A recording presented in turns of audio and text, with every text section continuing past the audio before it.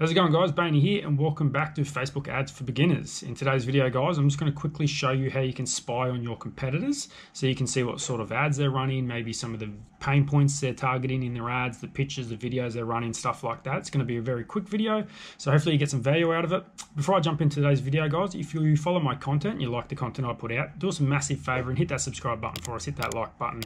If you have any questions about any of my videos, uh, leave them in the comments below and I'll do my best to answer it and let's jump into today's video. So very quickly guys, if you want to spy on your competitors, all you have to do is simply go to their Facebook page and you scroll down on a desktop, it's a lot easier. You scroll about halfway down the page on the left hand side will say page transparency. So you just click see all and here it will tell you what countries are managing their page and this one says China for some reason which I thought Facebook was banned in China so that's pretty weird but you can see they're running ads it says this page is currently running ads and you go to go to ad library and this will allow you to see all the ads this page is running. This page is actually running 1400 ads, which is massive. So the competitors you might be targeting probably aren't going to be spending that much money, but as you can see, you can see every single ad this page is running. And this is really good if you've got a unique product or you've got a product that's got certain pain points. You can see what sort of pain points your competitors targeting. Maybe you can go for the same ones. I wouldn't recommend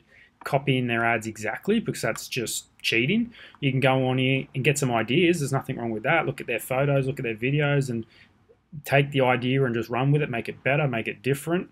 Um, but definitely don't copy it word for word. That's just that's just not right. But that's a quick way for you to spy on your competitors, guys. So hopefully you get some value out of that. And um, I'll see you on the next video. Thanks, guys.